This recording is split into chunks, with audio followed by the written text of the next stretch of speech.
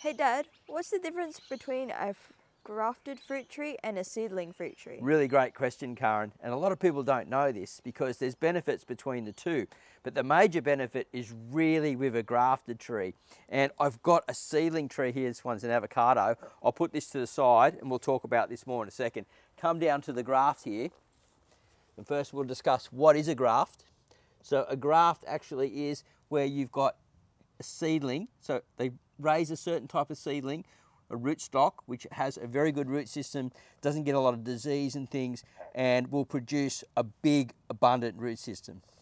Now, what happens is, is they get parent material from another tree, so a mature tree that's already got fruit on it, it's already been budding, and they collect it at a certain time of year, and they graft it onto the cambium layer, where the sap is coming up and down, and they join it, wrap it round with some tape. There's a few different ways of doing it, and make sure that it bonds. And once it bonds, the sap flow is going up and down, and the tree becomes one.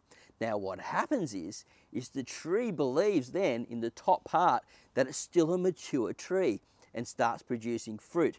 And it connects to this bottom one here and grows into a great big productive tree. And what happens is, is we end up getting fruit much faster. So with a seedling tree, like we've got here with this avocado here, now this is about a year old, just growing in a pot, I've been taking great care of it, but it'll probably go into my verge later on or into another pot. Can take up to seven years to produce fruit, and it may not even produce fruit exactly like its parent. Now, the parent on this one, where it's been cut and then put onto this rootstock down below, we know it's going to be exactly the same as the material that came off the other tree. So we know we're going to grow that type of tree. And you can actually graft many more different types of trees onto one rootstock, believe it or not. Some people have three different types of citrus coming off something like this. Now this is a mandarin. I think this is called an emperor, something along those lines. Great little tree. Now, what happens is, is the rootstock that I was talking about before, if it's growing really, really well, now this is a bit of a secret trick, tip, secret trick to do here, got a bit tongue-tied there for a second. What I do is you can see there's a couple of branches coming off here. See there's three branches? Well, what I did was I actually kept one central leader and I took a lot of the branches off and then I let the root system just get really, really big and then I let the tree grow again.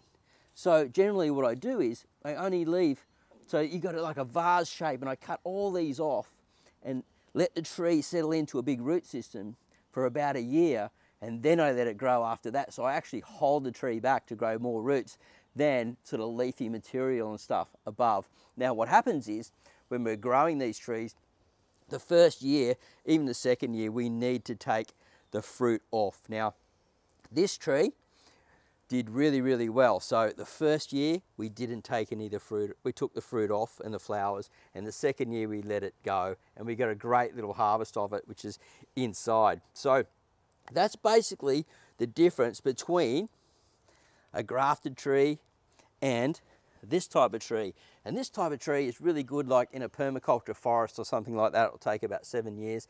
We may plant it up the side there where we've got some little bit of a permaculture forest thing going. We'll see or keep it in a pot for a while. Look, it's got another six years before it'll even produce anything.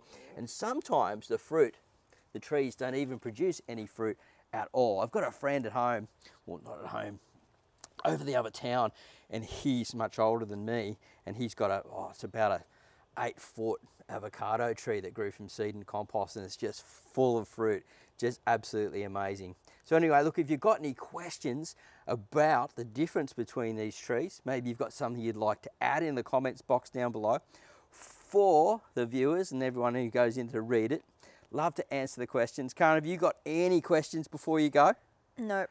No questions at all about grafted trees? Nope, no questions. Should we leave it for the viewers? Yes. All right, we're going to say bye, Karen. Bye, Karen. Why do I have to say it? You have to say goodbye to yourself. Goodbye, Karen. Say goodbye to myself, Karen. Flexi hands coming in. Ready? One, two, three. Bye for now.